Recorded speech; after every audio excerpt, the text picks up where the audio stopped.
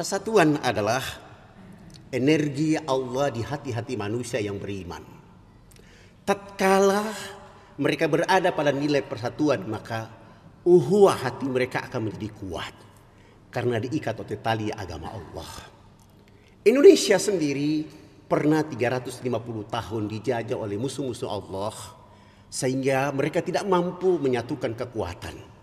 Tapi para ulama dengan semangat dakwanya pada masa lalu mengingatkan tentang uhuwah, mengingatkan tentang persatuan, mengingatkan tentang kebersamaan. Alhamdulillah 350 tahun itu digeser dengan sebuah semangat yaitu persatuan. Dan itu diukir oleh ulama kita dalam Mukadimah pembukaan Undang-Undang 45 tepatnya alinea keempat dalam tulisan Indonesia berdasarkan ketuhanan yang Maha Esa dan Indonesia berdasarkan persatuan Indonesia. Ma'asir al-muslimin wa jumaratus salihin rahimakumullah. Terlepas dari situ kita lihat pada masa lalu. Badar itu berhasil oleh karena kekuatan uhuwah wa tasimu bihablillahi jamiyah. Persatuan berpegang teguh kepada tali agama Allah. Ikatan hati yang dalam. Ikatan hati yang menyatukan energi yang berpisah bercerai-berai itu menjadi kekuatan. Sehingga mereka mampu dengan jumlah yang sedikit menghadirkan kemenangan. Menghadirkan kesuksesan. Menghadirkan kedamaian. Menghadirkan tipologi manusia yang sami'na wa ato'na kepada Allah dan Rasulnya Muhammad Sallallahu Alaihi Wasallam. Dari perjalanan itu kita lihat Ibnu Katsir membeli tafsir pada surat 3 ayat 103 kalimat waqtasimu bihablillahi jamiyah. Kalimat waqtasimu bihablillahi jamiyah dalam pandangan Ibnu Katsir bahwa sesiapa yang berpegang teguh kepada tali agama Allah, berpegang teguh kepada persatuan, berpegang teguh kepada uhuwa karena Allah, maka Allah akan menyertai mereka dengan kemenangan. Tidak saja kemenangan, Allah menyertai mereka dengan jalan keluar.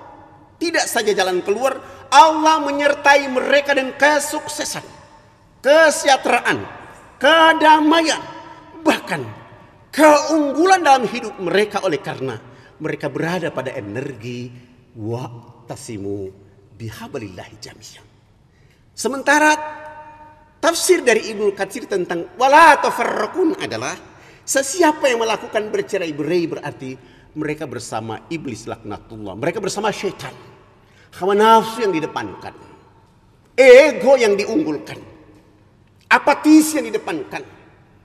Itulah sifat-sifat setan yang mempengaruhi mereka dalam rangka tidak membangun energi keimanan kepada Allah Subhanahu wa taala. Bukankah Allah mengatakan Ketika kamu dalam masa jahiliyah kamu bercerai-berai. Allah satukan hati kalian dengan beriman. Bersaudara. Lalu Allah menjadikan kalian menjadi umat yang akan mendapatkan petunjuk dari Allah Subhanahu wa taala. Maka energi itu kalian ambil menjadi energi untuk menjaga. Perbedaan boleh ada di tengah-tengah kehidupan, tapi perbedaan yang dapat mengorbankan nilai darah manusia, maka hindari itu dengan waktasimu bihablillah jamiah. Dengan persatuan itulah kita mampu untuk menjaga apa yang sudah ada dalam negara Republik Indonesia. Terutama di tengah-tengah umat Islam. Kita mampu merawat kebersamaan itu. Keharmonisan itu. Dan kita akan membawa keunggulan itu menjadi keteladan bagi masyarakat dunia. Karena waktasimu bihablillah jamiah. Semoga khutbah singkat ini memberi manfaat kepada pribadi hatib dan kepada seluruh jamaah agar energi hidup kita mampu menata kehidupan pribadi, keluarga, lingkungan, masyarakat, umat Islam khususnya di tanah air Indonesia agar berada pada nilai persatuan.